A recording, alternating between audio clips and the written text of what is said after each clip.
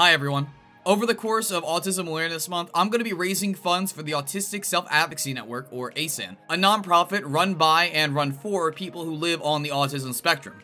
And joining me today from ASAN is Nor. Nor, how are you doing today? I'm doing all right. How are you? ASAN really did start as kind of a grassroots thing. It was literally started by a couple of individual autistic people just on laptops all across the US. ASAN was technically founded in 2006 as a direct response to like basically the fact that there weren't really representative autistic voices anywhere. It was largely people around us rather than us ourselves. Our goal for the month is to raise $1,500 for ASAN through streams like The Last of Us Part 2 in one sitting, a live table read of Shrek, subathons, and more, including these milestones we'll be working towards.